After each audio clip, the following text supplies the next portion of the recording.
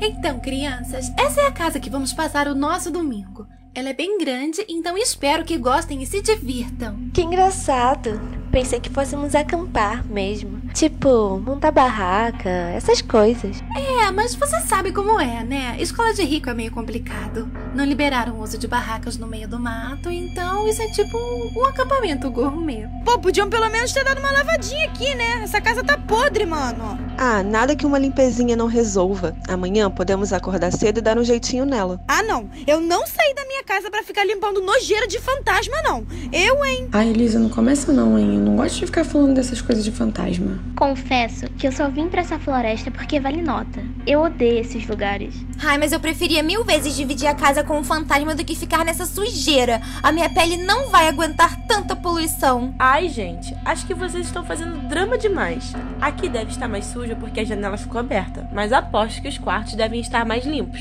É, então. Acho que o quarto não tá tão limpo assim. Me recuso. Eu ordeno que me levem para minha casa agora. Não fico nem mais um minuto aqui nesse lixão. Rachel, aqui tá esse teu rabo seco que todo mundo aqui tá no mesmo barco, tá?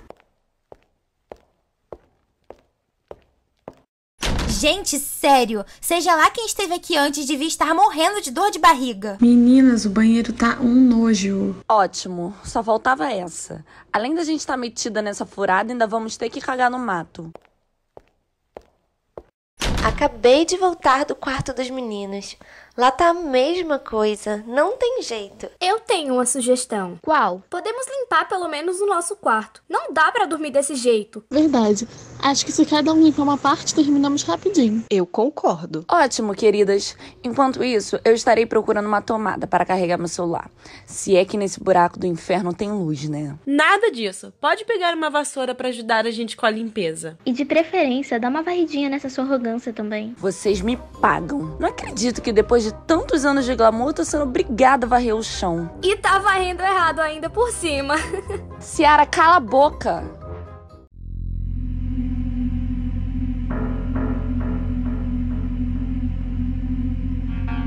Na moral, que lugar estranho. Sinceramente, se eu soubesse que seria assim, não teria vindo mesmo. Essa casa fede a coisa velha. Será que a professora não viu essa casa antes de me trazer? Sei lá, só sei que isso aqui é horrível. Não é querendo colocar medo em vocês, não, mas essa casa parece filme de terror. É verdade. Já pensou se aparece algum espírito maligno aqui? Danilo, isso não é assunto para falarmos uma hora dessas em um lugar como esse. Qual foi? Vocês são tudo bando de medrosos. Tudo frouxo. Se fosse você, eu ficava de bico calado. Ninguém pediu sua opinião. Gente, não adianta brigarmos. Estamos todos juntos aqui neste lugar horrível.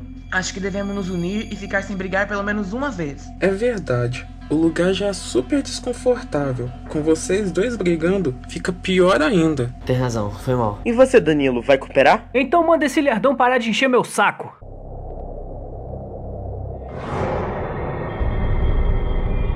Vocês ouviram isso? Eu ouvi. O que será que foi? Não tem nada aqui. Que estranho.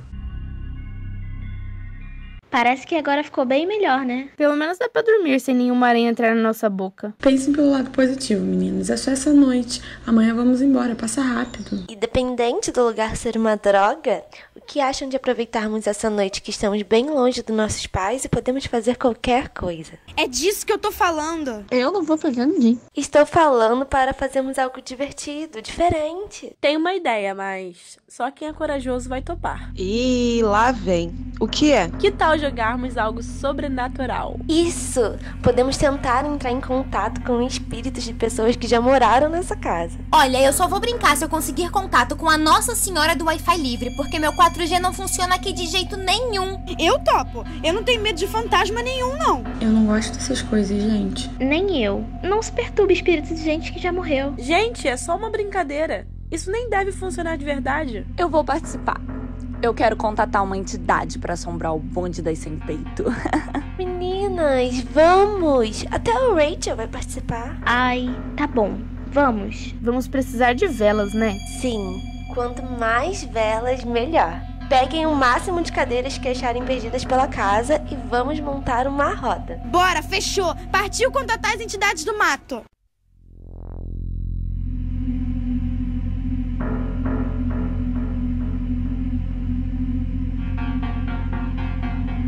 Quem foi a brilhante ideia de descer pro meio do mato para procurar de onde veio o barulho? Gente, de acordo com os filmes de terror, o recomendado sempre é procurar o barulho. Não é não. Todo mundo que procura o barulho se ferra. Ah, vamos logo, pô. Vocês querem apostar quanto que não tem nada aqui? Isso deve ser coisa da cabeça de vocês. Já que vocês estão com medinho, eu vou na frente. Não tem ninguém com medo aqui, não. Deixa ele na frente. Se algo der errado, ele é o primeiro. Pô, moleque, tu é um gênio. Meus amigos, os fantasmas vêm por trás. Então. Deixa eu ir na frente, não tenho medo. Acho que tá tudo certo, né? Ah, não sei. Vai que esse cidade é educado bate na porta antes de entrar. Quem vai ter que abrir sou eu. Ai, senhor. Só você mesmo. Eu troco.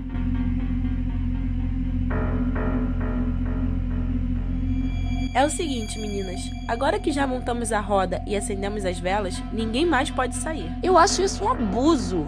E se eu quiser ir ao banheiro? Aí você se acerta a quantidade, né, meu amor? Vamos começar então. Queridas entidades que aqui descansam. Tem alguém aqui entre nós? Que foi? Tô entrando em contato com a entidade. Minha filha, assim a entidade não vai nem vir aqui dar um oi. É assim, ó. Ô, entidade, como é que é? Não dificulta pro nosso lado, não. Somos humildes meninas achando que estamos em um filme de terror americano. Então aparece logo pra gente poder partir pra parte de ação do filme. Pronto, é assim, viu?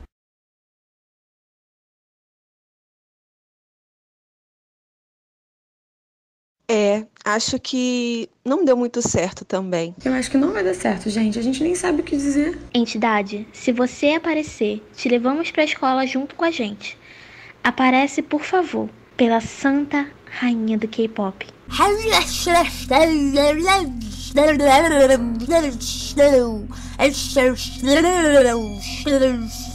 Que isso, Valentina? Será que a entidade entrou nela? Não, gente, é que nos filmes de terror eles costumam falar sempre em latim, então eu achei apropriado. Isso que você falou foi latim? Não, mas eu acho que é parecido. Estão ouvindo isso? Para de ser cagão, moleque. Não tem nada aqui. Não, espera. Tem sim. Eu tô ouvindo. É uma voz estranha. que será que é isso? Tá vindo dali, vamos lá. Se tem alguma presença aqui nessa casa, se manifeste, por favor. Ô, entidade, como é que é? Não fala assim com ela, ela pode ficar com raiva. Ah, minha filha, com mais raiva do que eu, ela não tá, não. Eu, hein, entidade mal educada, não responde? Ah, pode ser que esteja faltando alguma coisa. Vou pesquisar na internet. Funk, funk, funk, funk, funk, funk.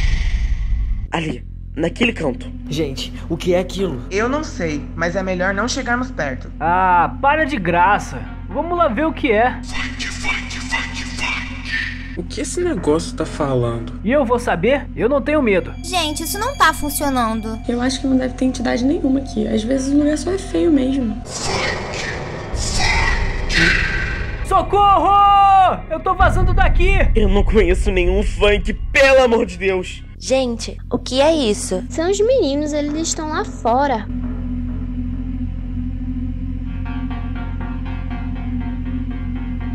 Volta, volta, não vai lá não. Tem um fantasma aqui. Um fantasma? É, ele fica repetindo funk, funk, funk toda hora. Meu Deus, deve ser o nome de quem matou ele. Vamos lá, meninas. Essas meninas são malucas. Mas não era você que não tinha medo de nada? Isso é outra coisa. Vê se não me estressa. Ai, meu Raul, o que, que é aquilo? Não vamos até lá. Ah, parem de ser medrosas. Ô, entidade, agora ou nunca? Tu não vai vir falar com a gente, não?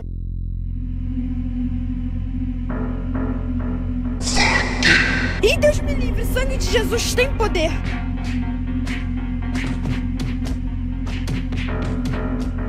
Corre, cambada. De quem foi essa ideia mesmo? Vocês me pagam. Agora ferrou. Aí, na moral, vamos parar com a palhaçada agora. Entidade, o que que tu quer? Funk, funk, funk. O quê? Ela quer funk? Que? Eu queria balançar aba funk. Gente, é isso. Ela quer dançar funk. É pra já, minha amiga. Gente, pega lá minha caixinha de som. Açaí, açaí.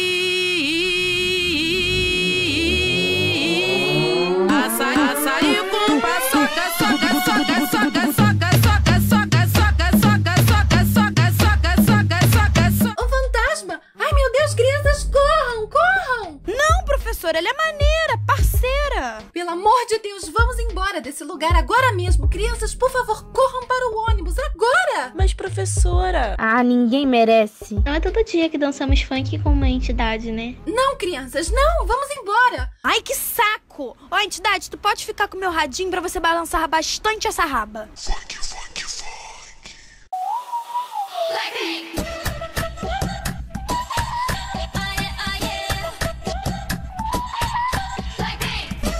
Isso foi tudo culpa de vocês. Se não tivessem ido lá mexer com aquele negócio estranho, não estaríamos indo embora agora. Acontece que ninguém te perguntou nada. Vocês são todos os medrosos. Vocês estragaram o nosso domingo. Ia ser super legal. Crianças, não foi culpa de ninguém. Mas eu não podia me responsabilizar de deixar vocês em um local mal assombrado. Mas a gente ia se divertir tanto, professora. Ai, verdade. Vocês iam aprender a carregar troncos de árvores, iam carregar baldes de água na cabeça, escalar árvores e pegar frutas. Ia ser um enorme aprendizado. Pensando bem, talvez seja bom passar o domingo em casa. Com a família, né? É, com certeza. Mas esses garotos não valem nada mesmo, não é? Bom, crianças, relaxem e descansem. Está um pouco de trânsito, mas o bom é que de manhã vocês já estarão em casa.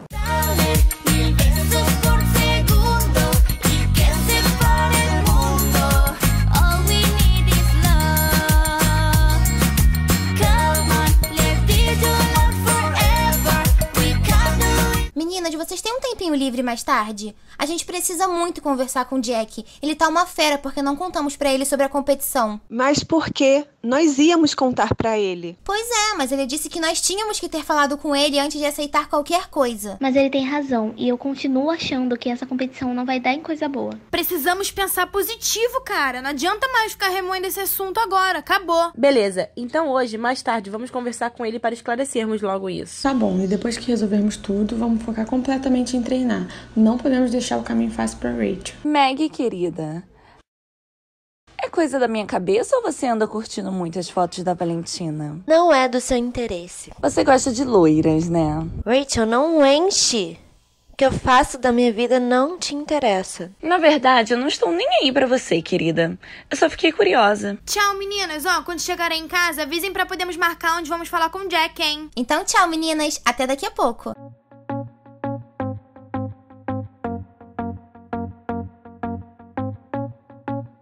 Daniel, o que faz aqui? Não gostou da surpresa? Não, quer dizer, sim, eu gostei. Você sumiu. O que tá acontecendo? É que eu tava precisando de um tempo pra mim, sabe? Daniel, eu não quero que pense que eu não me importo com você. Sim, eu entendo.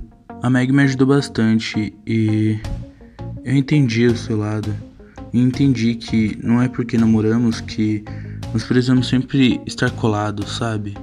É, você precisa do seu espaço, eu preciso do meu. Ai, eu fico tão feliz que me entende. Mas mesmo assim, te peço desculpas. Eu vou tentar arrumar mais tempo pra você. Muito obrigado. Você é muito especial pra mim. Mas e aí? Como é que foi o acampamento? Ai, eu nem te conto. Acredita que era mal assombrado lá? Sério? Olha, é, eu já volto, tá? Só deixa eu ali avisar a Meg que eu já cheguei só pra ela não ir embora sem mim, tá bom? Olha, agora eu vou precisar ir, porque eu tenho que resolver umas coisas com as meninas, mas podemos ver mais tarde, pode ser? Claro, eu te ligo pra gente marcar, tá bom? Eu não entendo como você consegue ser tão fria e fingir que nada aconteceu. Hã? Não entendi, querida. Rachel, você sabe muito bem tudo que você me fez passar. Eu não te fiz passar por nada, Meg. Você é quem se confundiu. Eu te amava. Fazia tudo por você. Pra quê? Pra no final eu saber toda a verdade? Que você não tava nem aí pra mim? Pobre Meg. Você não entende até hoje, né? Eu só queria ser popular. Eu não conhecia ninguém aqui e ninguém me conhecia. E pra isso você precisou me usar, né, Rachel? Sinceramente, eu me arrependo todos os dias por ter me apaixonado por você. Fazer o quê, né? Eu realmente sou uma pessoa irresistível. não tenho culpa. E como se não bastasse ter me usado aquele tempo todo, depois ainda ficou se jogando pra cima do meu irmão. Ah, mas o seu irmão é um gato. E ele ainda vai se tocar que nós fomos feitos um para o outro. Não, Rachel.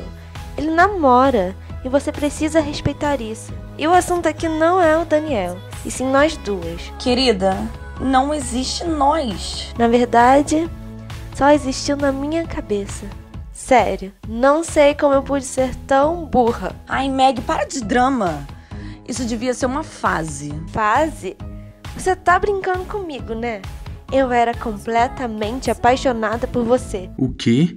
Meg, que assunto é esse? Daniel, não é isso que você tá pensando. Jasmine, muito obrigada por ter deixado a Beca ficar aqui, sério. De nada, sempre que precisar, pode contar comigo. Muito obrigada mesmo. Mas então, como estão as coisas na casa nova? Ótimas! Pior que você não sabe, tem um garoto super gato que mora do meu lado. Você precisa ver. Sério? Ai, depois quero saber detalhes, hein? Pode deixar, vou jogar tudo na rodinha. Agora, deixa eu ir lá porque eu preciso fazer o almoço. Você não quer ficar para almoçar? Não, tudo bem. Obrigada, tchau. Você sabe se esse presídio que eles estão é realmente seguro? Não tenho certeza, mas vou procurar saber. Nós não podemos dar bobeira. Se a Helena ou o Dom fugirem, vão vir correndo atrás de nós. Não temos a quantia que devemos a eles. O único jeito vai ser nos mudarmos. O quê? Vocês estão devendo ao Dom e à Helena?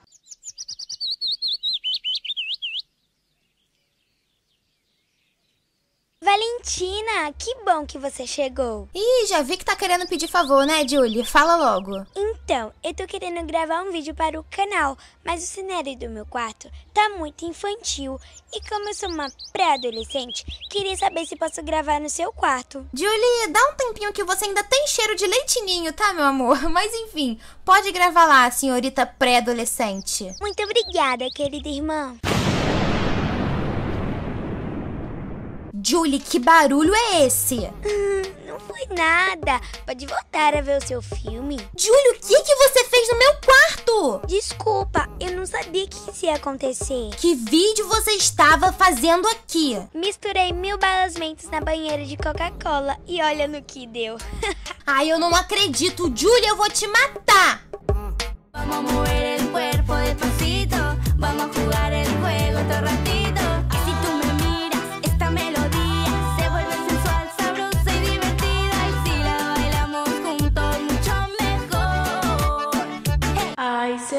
Pedro vai me chamar hoje? Na verdade, isso nem faz diferença. Se ele não me chamar, eu vou na casa dele e chamo. Ai, gente, ele é muito gato. Não aguento com tanta beleza. Senhor! O quê? Ele tem namorada? Eu não quero falar disso. É sério, eu já cansei disso. Você nunca me conta nada. Sempre guarda vários mistérios. O que rola entre você e a Rachel? Se mete na sua vida. Isso foi uma coisa do passado e eu não quero mais ficar remoendo esse assunto. Se você me contar, eu juro que eu nunca mais te perturbo com isso. Eu não quero. Meg, você quase sempre tá calada, estranha. Começa a falar coisas e para pela metade. Poxa, eu já cansei. Ou você confia em mim ou não confia. Eu confio em você, mas. Meg, me conta. O que rola entre você e a Rachel? É aqui que ele mora, mãe. Então vamos subir. Tá na hora de resolver isso como gente adulta. Esse menino precisa assumir essa criança. E se ele não assumir, mãe? Ele vai. A responsabilidade de uma criança é tanto sua quanto dele. Ele vai assumir. Se não quiser por bem, vai por mal. Você diz isso porque não conhece ele. Não tenho medo de homem, muito menos de moleque. Se ele não assumir, vai se ver com a justiça e ponto. Vamos.